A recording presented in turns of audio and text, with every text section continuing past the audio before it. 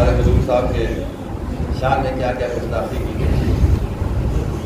अगर इस तरह की कोई भी अगर आपके पास हदीस आ जाए तो उसको आप जाके आप उसको दीवार पे जो है इसलिए कि जहन आपको अल्लाह ने जहन दिया है।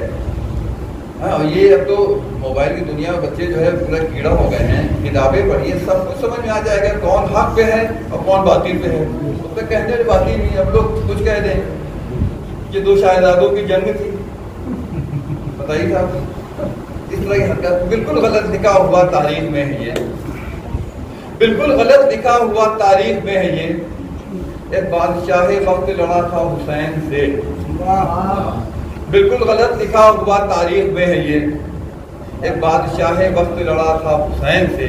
वो बादशाह वक्त नहीं था, फकीर था।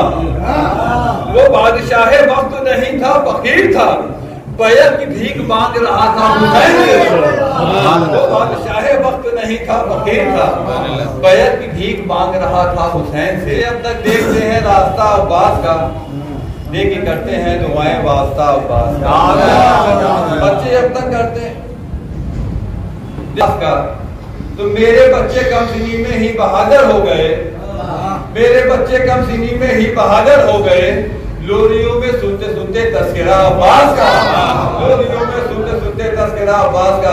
लेकिन नहीं पाई, हमारे होने को मुस्लिम मुस्लिम नहीं पाई।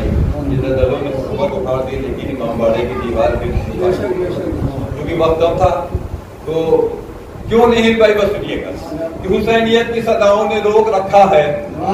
हुसैनियत की सदाओं ने रोक रखा है। ये फातिमा की दुआओं ने रोक रखा है। ने चार विषय ने पहले सुना दी उसी सुना दी आखिर क्यों काहे किस वजह से?